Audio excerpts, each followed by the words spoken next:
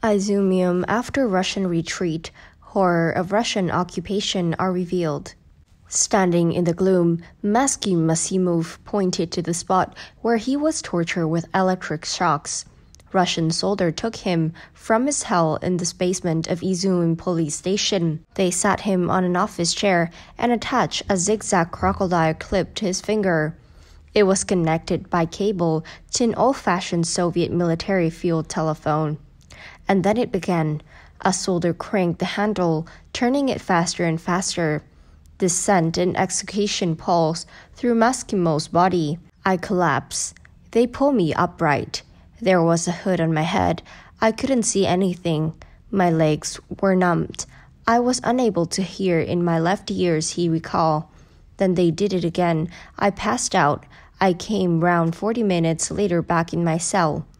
The Russian army occupied the police station in April. This followed a furious month long battle with Ukrainian force, who had based themselves on hill next to Izium Soviet War Memorial.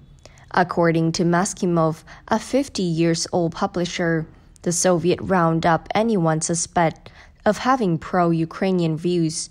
He had stayed behind to look after his elderly mom. They sought veteran servicemen, Home Guard volunteer, and City Hall official.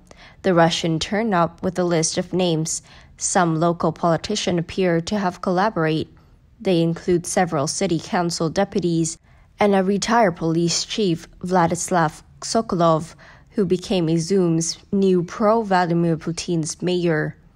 President were unable to say how many people vanished during the Russia's five-month occupation of the city.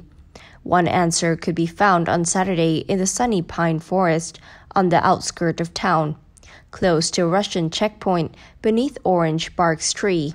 Ukrainian forensics experts were carrying out a gruesome process of exhumations and truth telling. A Russian battalion had parked its tank next to a cemetery, cutting down branches and building underground shelters with net long roof. Izium were dead 443 people since February. Joined them in nearby sandy plots. They include 17 Ukrainian soldiers. They were dug up on Friday from a scooped out hollow for a tank used as mass grave. Ukraine's armed force discovered the grisly site when they swept into Izium a week ago, as part of a stunning counteroffensive that saw them recapture almost the entire northeastern Kharkiv region. On Friday, the first 40 bodies were removed. Some had their hands bound together on the decade arm of a woman was a bracelet of Ukrainian blue and yellow color. On Saturday, experts in white boiler suits continued digging. Graves were marked with wooden crosses. Watched by police, they scraped, pulled out bodies, and laid them carefully in glade. The first was a soldier, identifiable from his camouflage trousers and boots. Then two civilians, one possibly female, and another soldiers. All were zipped up in white bags. Sometimes we find IDs and passport, but we don't have names for many of those here.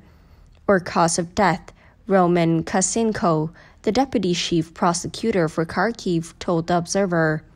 There are some signs of torture. We found individuals with hands tied together and broken limbs, but he stressed it it's too early to say if this is another Bucha. The site smells strongly of human decade and pine resin. Relatives said Russian missile killed their loved one.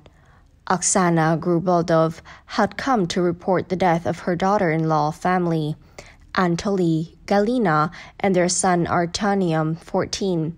They died on the 9th of March when a Russian warplane bombed their apartment block, she said. As the Russian retreat, however, the price paid by civilians grow clearer. Russian soldiers round up and executes hundreds of civilians in February and March in Bucha and other satellite town in the Kiev region. The latest mass grave in Izium suggests this was not an anomaly. Rather, it is a part of savage pattern seen in each area Moscow occupies. Most of Izium has been destroyed. The main boulevard is full of gutted apartment blocks and wall park marked by bullets. The administration building is an airy sandbag ruined. A bomb tore a chunk out of church's cupola. The city's beer factory remained closed, but a cafe reopened on Saturday. You look at this and think we don't have a future, Maksimov said, but I believe we do. We can rebuild. That's all for today. Thank you and goodbye.